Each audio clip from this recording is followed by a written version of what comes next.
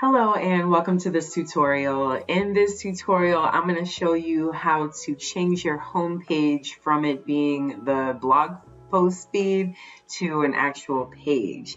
So by default, WordPress, uh, once you install it, um, will always set the blog feed as your home page. Um, it's just, some, you know, like traditionally WordPress is blog software.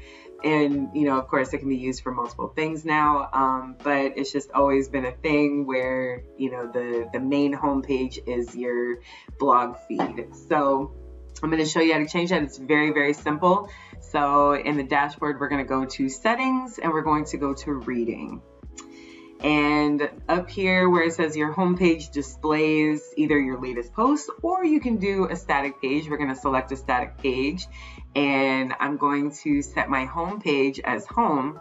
And then I can also set a post page um, and I have a page called blog. So now um, the home page is going to show my home page and then my blog page is my post page is going to show my blog. So we're just going to go ahead and hit save changes. Now we're going to go to the site. So this is now our home page.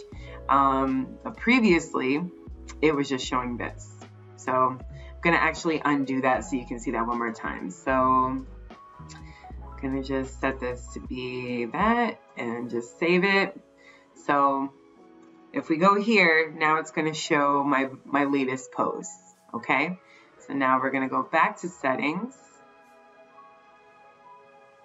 And I'm going to change this to a static page. I'm going to do home for my home page and blog for my post page.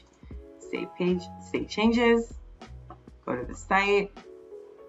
Got my home page and now I got my blog page and I can add as many blog posts as I want and it's just going to keep on going, keep on going that concludes this tutorial. Um, if you have any questions, uh, please reach out to us in our support center. We're available 24 hours a day, seven days a week. Thank you very much.